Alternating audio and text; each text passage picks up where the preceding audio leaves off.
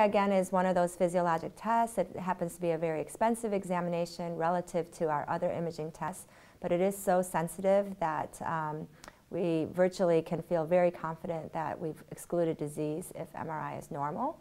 So uh, we talked about the unique uh, imaging features of MRI lesions and um, uh, how helpful it can be in the difficult diagnostic settings.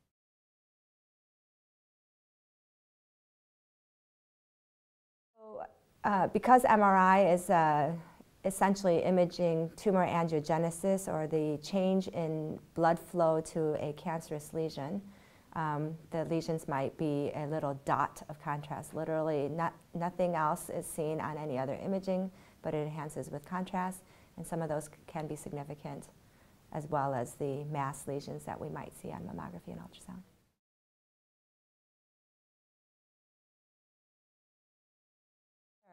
So I think the difficulty with MR for many patients that the oncologist can really help us is to counsel the patients about the examination and if they feel that they may potentially be uncomfortable or not be able to tolerate the exam, to potentially um, uh, pre-medicate as necessary because it is such a wonderful exam, but there are a number of patients that maybe can't tolerate it. And if MRI couldn't be done, again, we have many wonderful tools to help us image, including less claustrophobic uh, examinations.